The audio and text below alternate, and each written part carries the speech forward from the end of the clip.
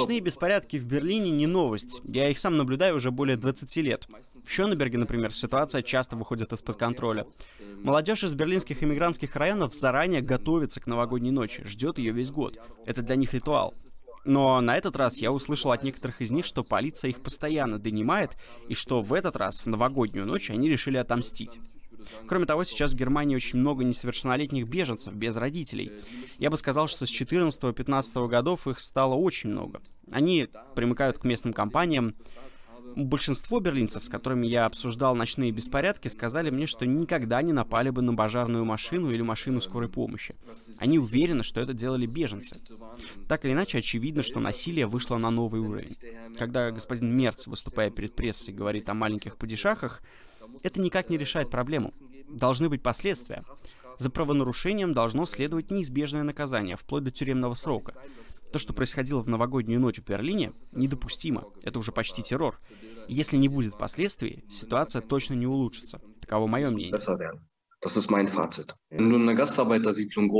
Моя семья переехала в Германию незадолго до моего рождения. Я сам вырос в квартале, где жили в основном гастарбайтеры. Я хорошо понимаю, какая там жизнь.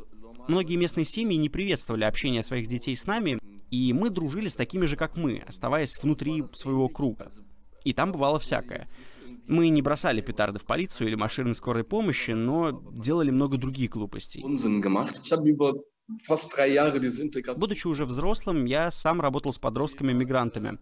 Вел интеграционную группу в берлинском районе Веден. В основном туда приходила молодежь арабского происхождения, но были и турки, курды, синти и рома. Я бесплатно занимался с ними тхэквондо, тренировал их. Но было одно условие. Раз в неделю они должны были приходить ко мне на встречи.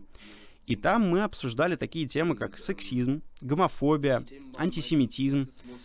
С этой молодежью никто никогда не говорил об этом, и они практически не соприкасались с таким в реальной жизни. Я считаю, что такие беседы и встречи им очень нужны. Если подросток лично не знаком ни с одним полицейским, не понимает смысла того, чем занимается полиция, ничего кроме негатива она у него не вызывает. В его мире полиция появляется только чтобы задержать его или арестовать его соседей. То же самое относится и к антисемитским высказываниям. Гомофобия очень сильна в этих кварталах. Получается, что эта молодежь изолирована от общества, потому что просто многого не знает. И я был таким же. Но если в какой-то момент ты знакомишься с представителями разных групп, меньшинств, и понимаешь, что они часть общества, ты начинаешь задумываться о том, что ты тоже можешь стать частью этого общества. У этой молодежи такого понимания нет. До них это никто не доносит.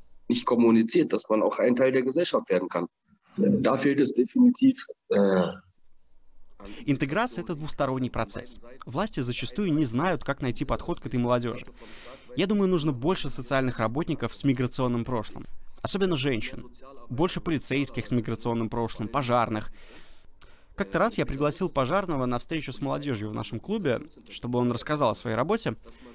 После этого он стал приходить на наши встречи каждую неделю, потому что увидел, насколько это важно. Они не знали, что делает пожарный. Они думали, что приезжает грузовик, оттуда достают шланг, заливают огонь, после чего машина уезжает. У них не было понимания, что это сложная профессия, требующая высокой квалификации. Соответственно, у них и не было уважения. Если им не показывать таких вещей, не говорить с ними об этом, они ничего и не узнают. И в какой-то момент могут уйти в криминал. er. Говорить можно все что угодно, и господин Мерц может сделать еще множество провокационных заявлений. Но если кто-то нарушает закон, не обязательно устраивая беспорядки в новогоднюю ночь, а совершая, например, кражу или акт насилия, и не получает адекватного наказания, а отделывается легким испугом, он точно сделает это снова. Пока законы будут такими, какие они есть сейчас, лучше не станет. Скорее всего, станет еще хуже. Я говорю вам это как социальный работник, как журналист, и говорю вам это как мигрант тоже.